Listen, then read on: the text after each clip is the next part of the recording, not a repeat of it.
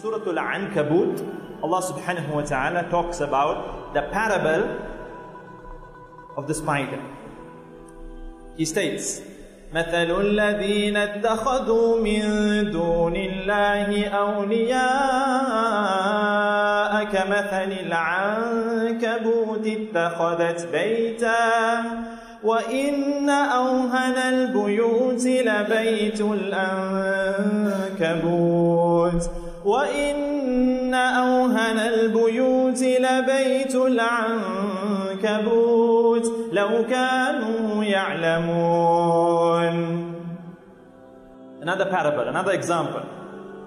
Our Supreme Maker, He states, the example, the parable, the simile of those who take awliya, who take protectors, who take friends, who take allies other than Allah, other than Allah, is that of the spider who builds to itself a house. I'm giving you the direct translation and then I'll expound on it inshallah. It's a mind-blowing ayah. The example of those who take protectors, those who take allies, those who take friends other than Allah. In the sense when we say awliya here, what we mean is if you take someone else as a protector other than Allah, that's the meaning here. You can have friends, you can have allies as long as you're not replacing Allah subhanahu wa ta'ala. There are those who take others other than Allah. They ascribe partners along with Allah or they replace Allah with something else. billah.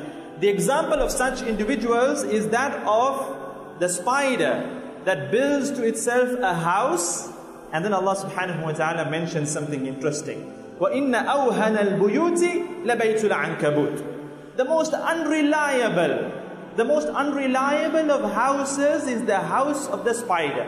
لو كانوا يعلمون if they but knew. The example of the people who take protectors other than Allah is like people who take refuge in a house. They go into a house and it is like that of a spider building itself a house. Now you know the spider's house is not a big mansion, it's a mere cobweb. It's a mere cobweb. That's the house of a spider. And then Allah goes on to say that the most unreliable of houses, the most unreliable of houses is the house of a spider. لو كانوا يعلمون if they only knew. Now we need to understand what a house is. Think of your own house. A house is a place of protection. A house, the place that you call home, is a place of refuge. That's where you go at the end of the day. When you're tired, when you want to go back home, you go home to your house where you feel safe, you feel protected, you feel at ease, you feel warmth, you feel comfort. That's what is known as a house. But here in the ayah, Allah says the most unreliable of houses is the house of a spider. Why? Because the cobweb is not a house of safety, it is not a house of warmth, it is not a house of comfort. First and foremost, it is flimsy in nature, and more importantly, it is a deadly trap.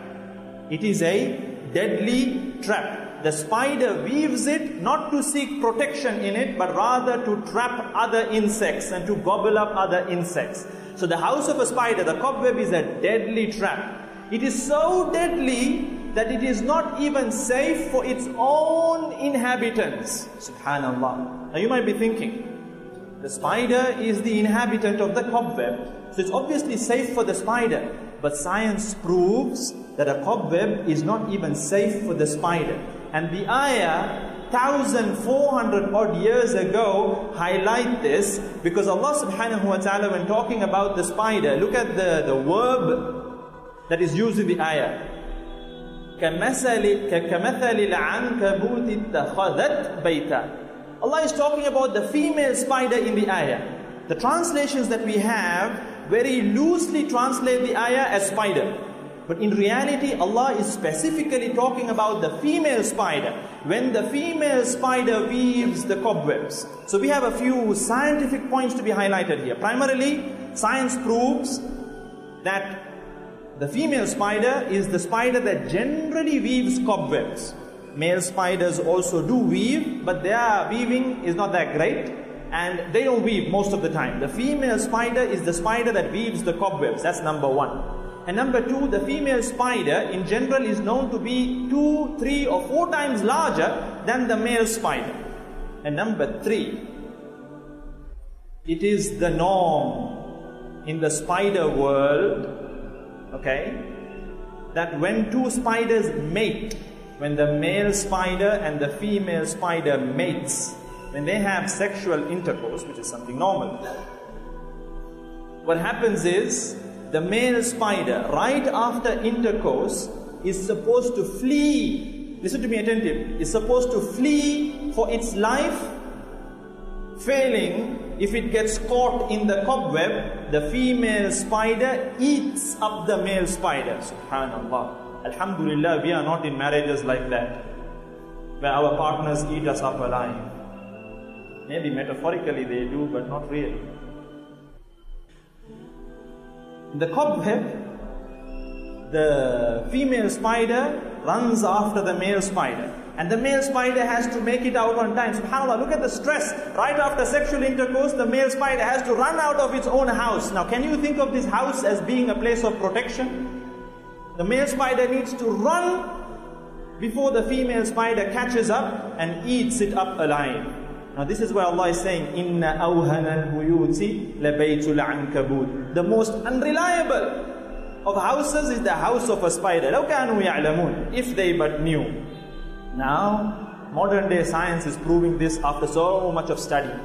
You need microscopes, you need to go into the cobweb to know all of these funny, funny activities that are taking place. But Allah subhanahu wa ta'ala mentions this 1400 odd years ago. Now, coming back to the lesson in the ayah, if you take a protector other than Allah, then it is like you're going into the house of a spider and seeking protection. True protection, true refuge is by Allah subhanahu wa ta'ala.